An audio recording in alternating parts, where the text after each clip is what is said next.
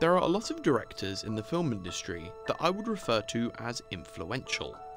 There are several names that immediately spring to mind when I think of this role Martin Scorsese, Christopher Nolan, Wes Anderson, and other notable names. One name that might come up in the list of best directors of all time is the legendary Robert Zemeckis. Well known for his insanely popular Back to the Future trilogy, he is well loved by both fans of him and his films. But how did he become one of the most famous directors of all time? Well, in this short video essay, we will be discussing just that. Born on the 14th of May 1952 in Chicago, Illinois, apart from his parents' 8mm video camera that he used to film several family events, he didn't have much creative inspiration growing up. Robert Zemeckis has said in an interview that, quote, The truth was that in my family there was no art. I mean, there was no music, there was no books, and there was no theatre. The only thing that I had that was inspirational was television, and it actually was. TV was his escape and would become a big inspiration for him. After he and his father went to see the film Bonnie and Clyde, he had finally decided that he wanted to go to film school. Initially, his parents didn't like the idea, as they were worried that a career in film may not be a profitable one. However, he managed to convince his parents to send him to Northern Illinois University in DeKalb, Illinois, where he learned his trade he then applied to transfer from NIU to the University of Southern California's School of Cinematic Arts in Los Angeles, which he thought was a lot worse than his previous university. In his words, he said the college was made up of, quote, a bunch of hippies and he was considered an embarrassment to the university. After graduation, he worked on many projects with mediocre success, like I Want to Hold Your Hand and Used Cars. His early films were not that popular, and he had trouble finding work in the early 80s. He would then find a friend called Bob Gale, who by this point he had written many projects with. They both eventually decided to write a film that would later become Back to the Future. This film was initially rejected by most major studios until famous producer Michael Douglas picked it up with Universal. The film went on to become a huge success, having spawned two equally popular sequels.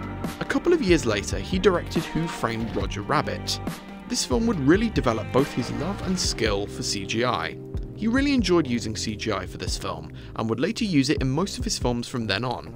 He would later found Image Movers Digital to help him make many of his films using CGI.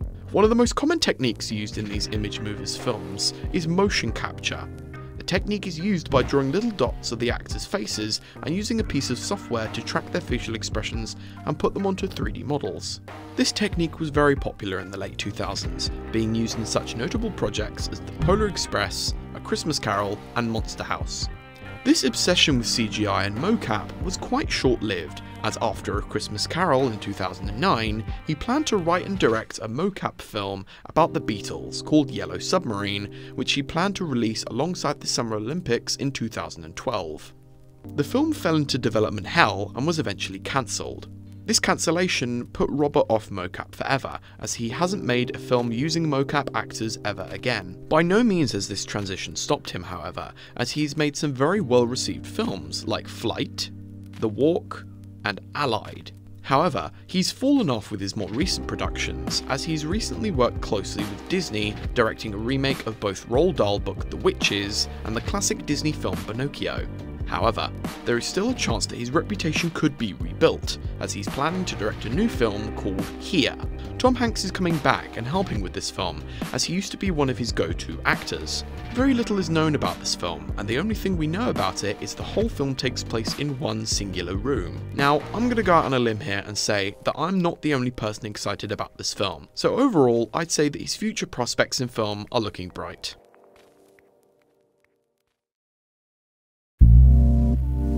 Overall, his impact on the film industry is hard to ignore, having a very inspirational story coming from having his parents worry about how he was going to make him and his family money, to becoming an Academy Award, Oscar and Golden Globe Award winner. He might not be the most well known film director, however, he is definitely one of the best. Thank you for watching.